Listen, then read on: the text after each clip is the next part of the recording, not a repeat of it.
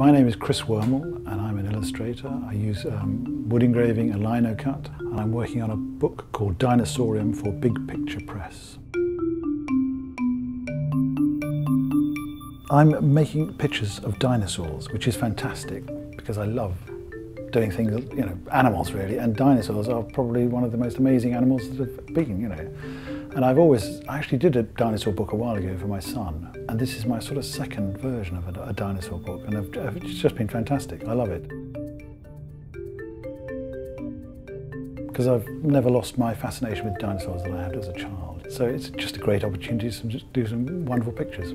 They're huge and you know, mysterious and strange and something amazing about them. I've always loved drawing monsters and huge, large animals like elephants and rhinoceroses and things like that, you know.